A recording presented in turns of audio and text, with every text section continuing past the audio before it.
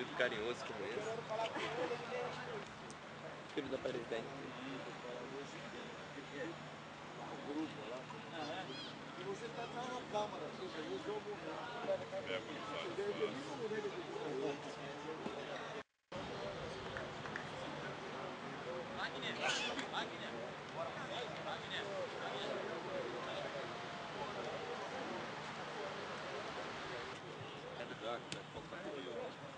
Outro, eu aprendi tudo isso.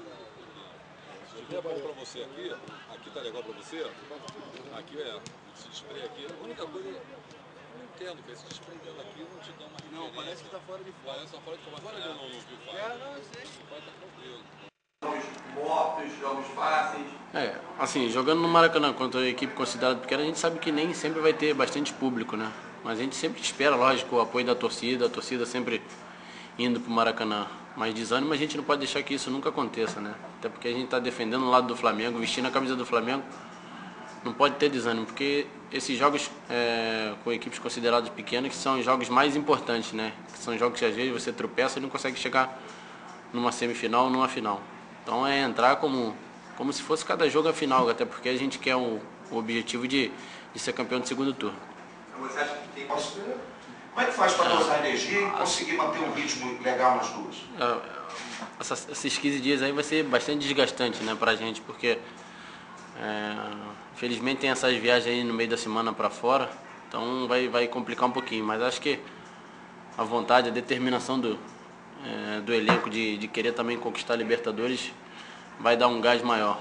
E pela gente ter perdido aí o primeiro turno e querer logo, logo ser o vencedor do segundo turno até pra gente fazer mais uma final, acho que vai, vai juntar as duas coisas e vai ser o nosso, nosso gás para esses 15 dias aí. Tá bom, Léo. Agora, Foi, foi muito bom. E para mim, eh, esse tempo que eu fiquei parado aí estava sendo muito difícil, até porque eh, era uma etapa nova, né, aqui no Flamengo. Eh, eu sei que é um ano muito importante para o clube e até para mim também. Então por isso que eu queria voltar o mais rápido possível. E foi bom, foi bom para ser o primeiro coletivo, para para ir vendo o que que falta, né, o que que o joelho tem que melhorar ainda. né. quanto cedo para esse tipo de previsão?